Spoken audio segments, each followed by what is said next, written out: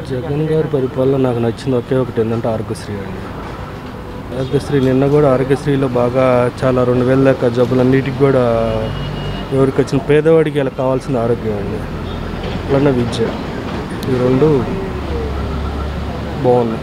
పథకాలు అందరూ ఏంటంటే నాకైతే ఏ పథకం రాలేదమ్మా. నాకు దాని గురించి ఏం తెలియదు. మీరు అడిగారు ఆరోగ్యశ్రీ అయితే నేను జగన్ గారికి హండ్రెడ్ పర్సెంట్ సపోర్ట్ ఎందుకంటే ఇలా కావాల్సింది పేదవాళ్ళకి ఆరోగ్యం. అది. మిగతా పథకాలు అంటే అన్నీ ఓకే బాగున్నాయి. అనుకుంటున్నాను నేను నిన్న చ- పేపర్ చదవలేదు నేను. మిగతాది నిన్నేదో సార్ ఏదో కొన్ని జిల్లాలు డిఫరెంట్ డిఫరెంట్ చేసేసుకొని కొన్ని ఆరోగ్యశ్రీలో తెచ్చి పెట్టారు. అది మెయిన్ ఇంపార్టెంట్ జగన్ గారికి. వాలంటీర్ వ్యవస్థ ఓకే గుడ్. ఎందుకంటే ఇలా సామాన్యుడికి దగ్గరికి వెళ్తున్నాయి కాబట్టి ఓకే గుడ్ బాగుంది. ఇంకా దాన్ని ఇంకా స్ట్రీమ్ లైన్ చేయాలి. ఎందుకంటే ఎంతోమంది పేదలు ఉన్నారు. వాళ్ళకి కావాల్సింది ఇప్పుడు ఆరోగ్యశ్రీలో కూడా ఏంటంటే కొంతమందికి మీరు అడిగింది వాలంటీర్ వ్యవస్థ తెలిసినోడికి ఒక రకంగా తెలియనోడికి ఒక రకంగా ఉంది. వాళ్ళని ఇంకా స్ట్రీమ్ లైన్ చేయాలి. చేస్తే ఇంకా బాగుంటుంది.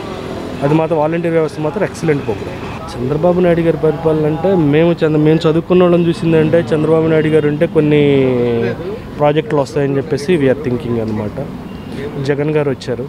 కొన్ని ప్రాజెక్టులు అంటే చదువుకున్నోడికి ఇలా కావాల్సింది ఏంటంటే కొన్ని ప్రాజెక్టులు తీసుకొస్తే అందరికీ మంచిగా ఉద్యోగాలు వస్తే అందరూ వెళ్ళని హ్యాపీగా ఉంటారు. అది అదొకటి మేము జగన్ గారి దగ్గర నుంచి కోరుకునేది అదొకటి ఏంటంటే ఇలా చదువుకున్న ప్రతి ఒక్కరికి కావాల్సిన ఉద్యోగం కావాలి. ఎంతోమంది ఇంజనీరింగ్లు చేసి ఇలా వాళ్ళ ఎనర్జీని అంతా వేస్ట్ చేస్తున్నాం మనం. ఓకేనా కాబట్టి వాళ్ళందరికీ ఏంటంటే ఏదో ఒక రకంగా ఎన్నో కొన్ని ప్రాజెక్టులు మంచి ప్రాజెక్టులు తీసుకొస్తే మాత్రానికి అందరికి జాబ్ ఉందనుకోండి జాబ్ వచ్చిన ప్రతి ఒక్కడు ఫైనాన్స్ పరంగా ఆర్థిక పరంగా డెవలప్ అవుతూ ఉంటారు. అప్పుడు ఆటోమేటిక్గా రాష్ట్రం అనుకోకుండా అదే మంచి స్థాయిలోకి వెళ్ళిపోతూ అనుకున్నంత అయితే ఏం లేదండి. జగన్ గారి పరిపాలన. అంటే సంక్షేమ పథకాలు అని చెప్పేసి అప్పు చేసి తీసుకొస్తున్నారు కానీ డెవలప్మెంట్ అనేది పెద్దగా లేదు కదండి.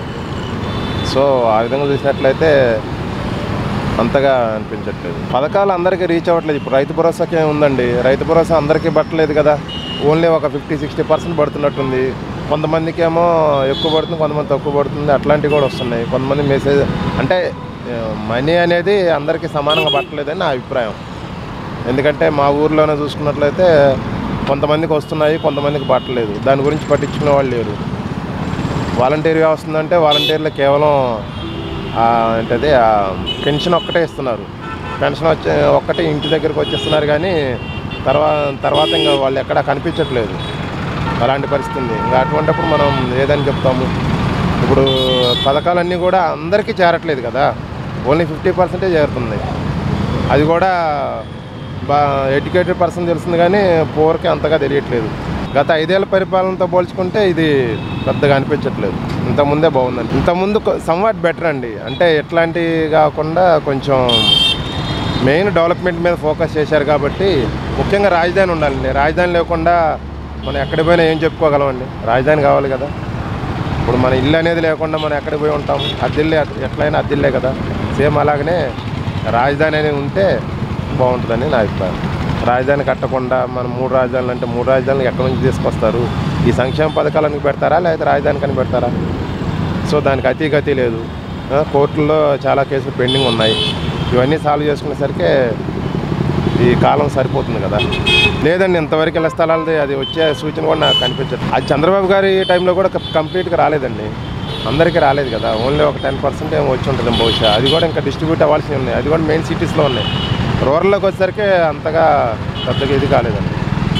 అది ముఖ్యంగా రోడ్లు ఇక్కడ ఇప్పుడు ఈ వరదలకి పంట నష్టం ఒకటి రోడ్లు ఒకటి ఇప్పుడు ఈ ప్రభుత్వం చూడాల్సింది మెయిన్ ఈ రెండండి. వీటి గురించి ఆలోచిస్తే బాగుంటుందండి. అది నాకు అంతగా ఐడియా లేదండి దాని గురించి. అంతగా నాకు తెలిసి అయితే ఎక్కడ విన్నట్లేదు వచ్చినట్టు కూడా అనిపించలేదు. స్థానిక సంస్థల ఎన్నికల్లో అయితే గట్టిగానే ప్రభుత్వానికి అయితే ఒక హెచ్చరిక ఇవ్వాలండి.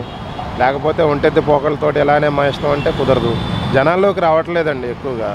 ముఖ్యమంత్రి గారు కూడా ప్రెస్ మీట్ పెట్టడం కానీ ఏదైనా ఇష్యూస్ని అడ్రస్ చేయడం కానీ ఇట్లా రావట్లేదు. మ్యాక్సిమం అక్కడ దాంట్లోనే గెస్ట్ హౌస్లోనే సరిపోతుంది ఆయనకి. అది జనాల్లోకి రావాలి. వస్తేనే సమస్యలు. ప్రజా పాదయాత్ర ఎలా అయితే చేశారో అలా వచ్చి జనాల్లో కనుక్కుంటేనే బాగుంటుంది. గనక మీకు నచ్చినట్లయితే లైక్ చేయండి షేర్ చేయండి. మరిన్ని వీడియోస్ కోసం మా ఛానల్ను సబ్స్క్రైబ్ చేయండి.